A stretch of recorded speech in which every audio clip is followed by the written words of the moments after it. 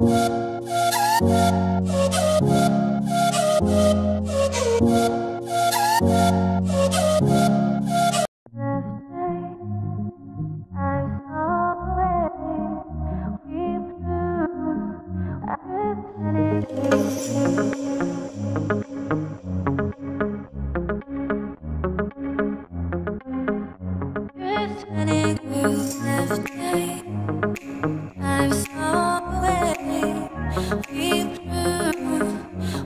deafening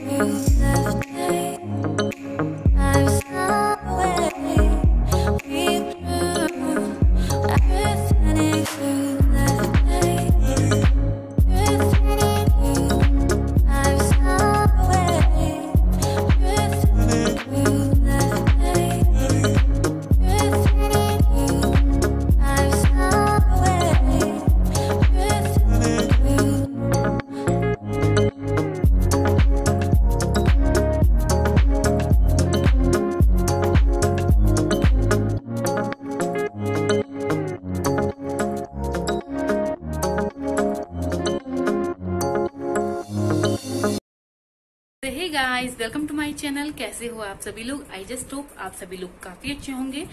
सो so, guys आज है तीस मई और अभी का जो टाइम हो रहा है वो हो रहा है दोपहर के साढ़े बारह। और जस्ट आप लोग सोचेंगे कि मैंने इतनी गर्मी में साड़ी क्यों पहनी है? वो इसीलिए पहनी है गाइज़ क्योंकि मैंने जस्ट अभी अपनी एक वीडियो बनाई है। तो वीडियो बनाने के लिए मुझे साड़ी की ज़रूरत थी तो मैंने वो अपनी वीडियो बनाई। वीडियो बनाने के बाद मैंने सोचा चलो जब ये वीडियो बनाई लिए तो ब्लॉगिंग भी स्टार्ट कर लेती हूँ क्योंकि काफ़ी दिन से ब्लॉगिंग नहीं कर रही थी। आपने कल ही मेरा एक ब्लॉग देखा होगा वो ब्लॉग भी मेरा काफ़ी दिन पहले का है। मैंने अभी मतलब ये मे के मैंने मैंने अभी कोई भी ब्लॉग नहीं बनाया गाइज़ सच्ची बोल रही हूँ आप लोगों को क्योंकि मन ही नहीं हो रहा है मेरा क्या बनाऊ? ऊपर से इतनी गर्मी। सो so, मैंने सोचा चलो जब अपनी रेडी भी हुई हूँ तो ब्लॉगिंग भी कर लेती हूँ। तो मैंने ब्लॉगिंग अपनी कर ली स्टार्ट तो आज मैं आप लोगों को अप, अपना आफ्टरनून से नाइट तक का रूटीन आप लोगों के साथ शेयर करूँगी। आई होप आप लोगों को पसंद आएगा मेरा ये रूटीन सो so, चलिए अभी मैं जा रही हूँ नीचे क्योंकि मुझे लंच की प्रिपरेशन करनी है और आज मैं बनाने जा रही हूँ पुलाव क्योंकि सुबह हमने मैंगो शेक पी लिया था और हमने रोटी खा ली थी रोटी सब्ज़ी बनाई थी।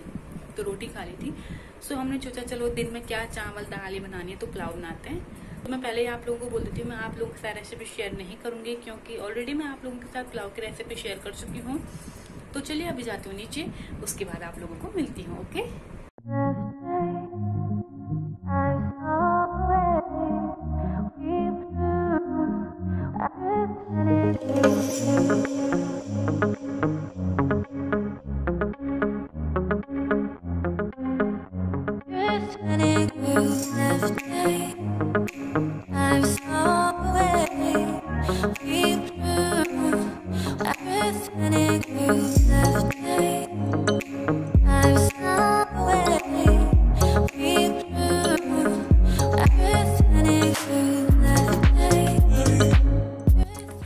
गाइस लंच मेरा बन चुका है और अभी मैं थोड़ा आई हूँ बाहर पे।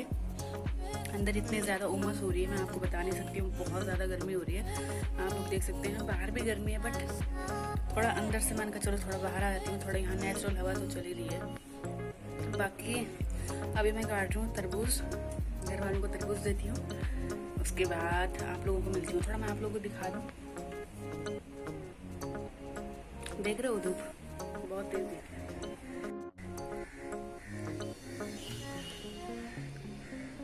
हल्की हल्की हवा चल रही है, ज़्यादा तो नहीं है बट अंदर की गर्मी से तो ठीक है।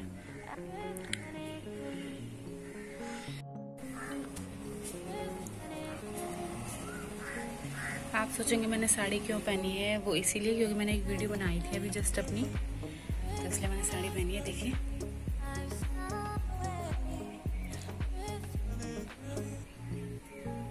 अच्छी लग रही हूँ ना?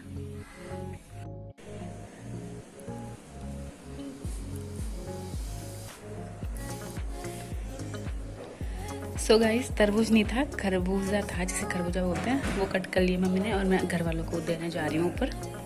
यानी कि अपने वाले फ्लोर में जा रही हूँ।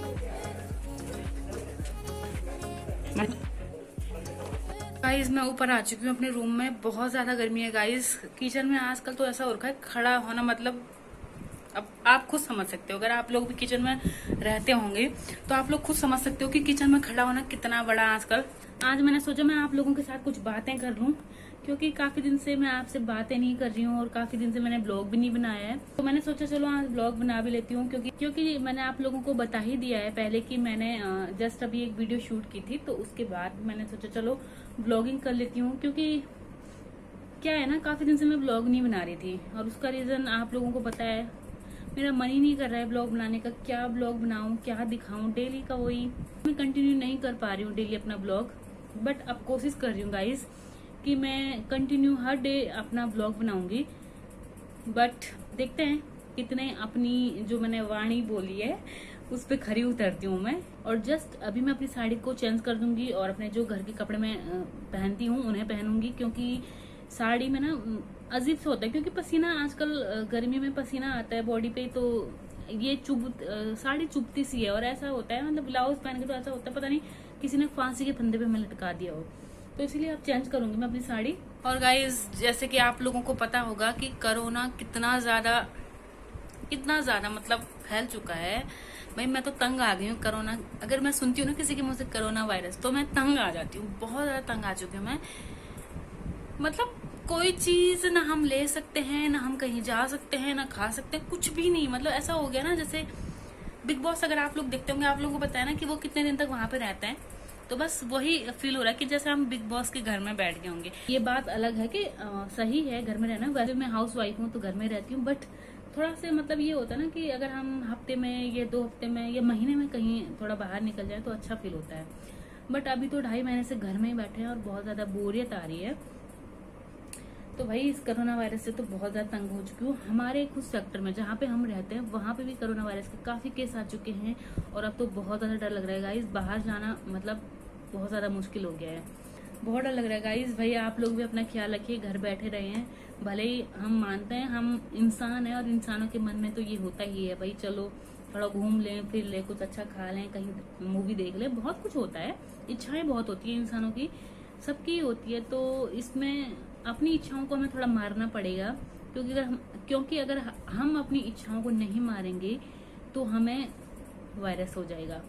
तो इसीलिए अच्छा है, इसीलिए अपनी इच्छाओं को मारना है। आप लोग भी अपना ख्याल रखिए, अपने घर में ही रहें, घर से बाहर ना निकलें, क्योंकि गाइस बहुत ज़्यादा बहुत ज़्यादा इंडिया में बहुत ज़्यादा कोरोना हो चुका है, और अब तो बहुत ज़्यादा डर लग रहा है। बाकी बहुत कर ली मैंने आपसे बात टाइम मैंने बहुत ज़्यादा खींच लिया गाइस वीडियो मुझे ज़्यादा लेंथी नहीं करनी है, मैं बोलती रहती हूँ वीडियो लेंथी नहीं करनी है, नहीं करनी है, नहीं करनी है बट हो ही जाती है। सो चलो, दिखाती हूँ अब कंटिन्यू क्या करूँ? आज नाइट तक का ही मैं दिखाऊँगी आपको मतलब आज का डे ही मैं आप लोग को दिखाऊँगी। नेक्स्ट डे का मैं इसमें ऐड नहीं करूँगी। ठीक है? तो चलिए, अभी मैं साड़ी चेंज कर लेती हूँ और अपने घर के कपड़े पहन लेती हूँ क्योंकि बर्दाश्त नहीं हो रहा है। फ़ैन भी चलाया हुआ है, लेकिन फ़ैन चलाने के बाद भी गर्मी खत्म नहीं हो रही, इसलिए चेंज करती हूँ, फिर आप लोगों को मिलती हूँ। ठीक है?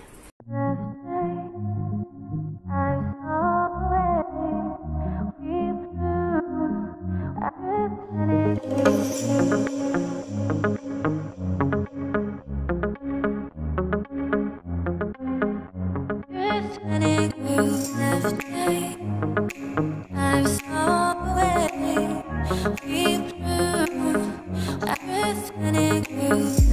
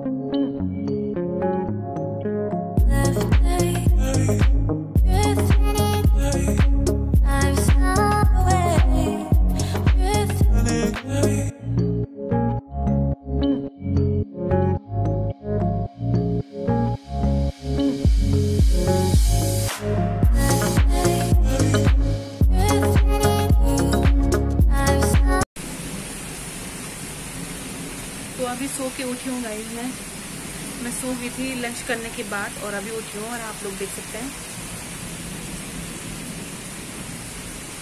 वेदर देख रहे हो यहाँ पे? कितना ज़्यादा बारिश यहाँ पे आ गई है। अचानक से आई है। दिन तक तो आप लोगों ने देखा होगा काफ़ी ज़्यादा धूप थी, गर्मी थी बट अभी मैं जैसे सो के उठी तो यहाँ पे बारिश ही बारिश हुआ अच्छा है ना, थोड़ा गर्मी कम हो जाएगी।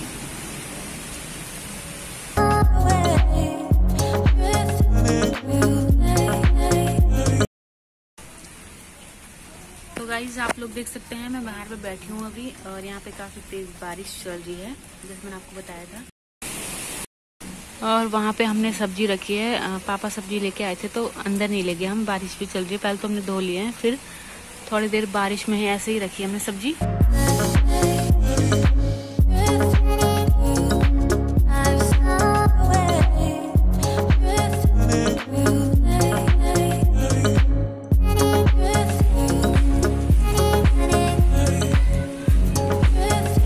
तो गाइज़ अब आ गई हूँ मैं किचन में और आज हम बनाने जा रहे हैं कोफ्ते यानी कि हम डिनर में कोफ्ते बनाएँगे।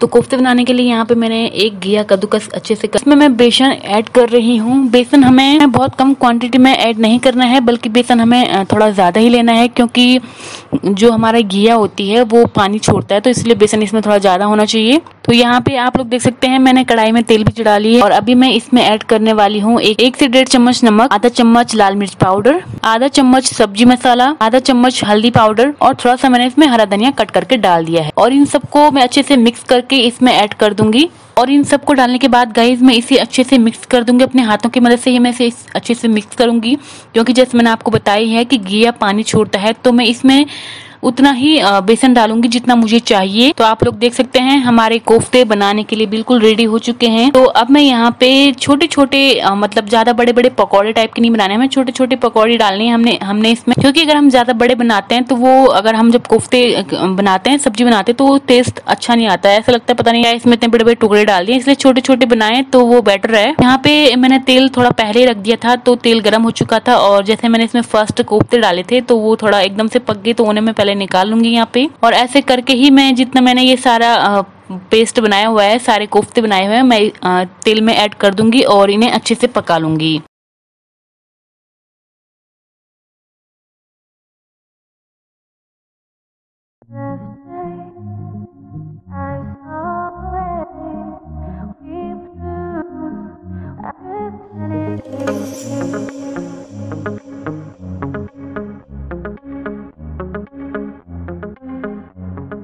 Panic will left me.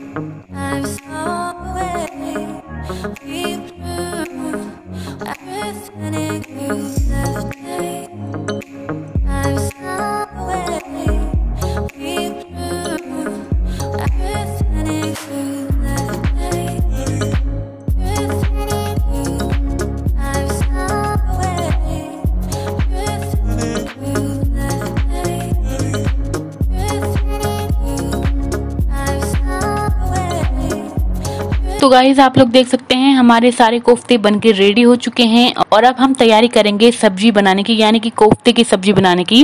तो यहाँ तो यहाँ पे मैंने कुकर चढ़ा लिया है क्योंकि हम कुकर में ही कोफ्ते बनाते हैं, क्योंकि कोफ्ते अगर हम चावल के साथ खाएँ तो बहुत अच्छा होता है।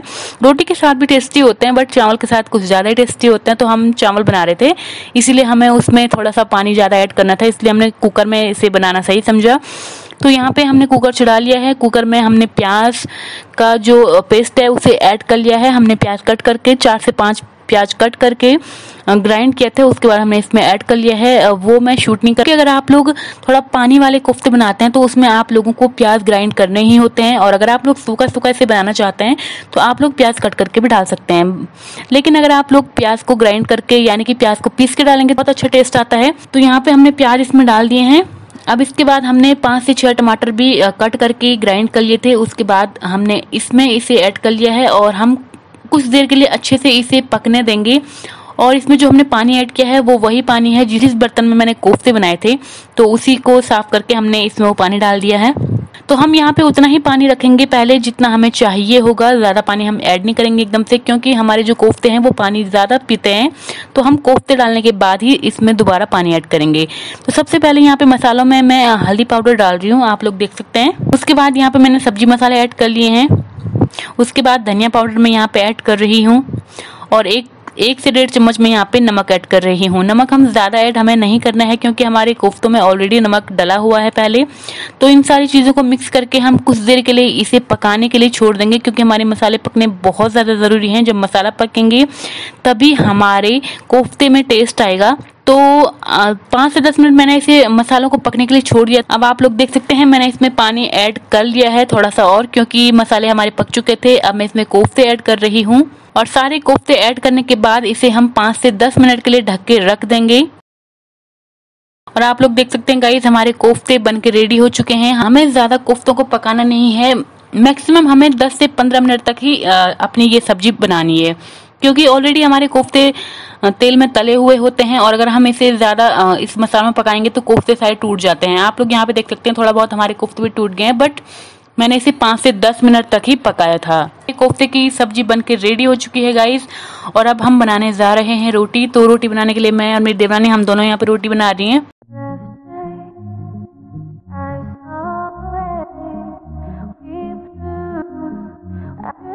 गाइज़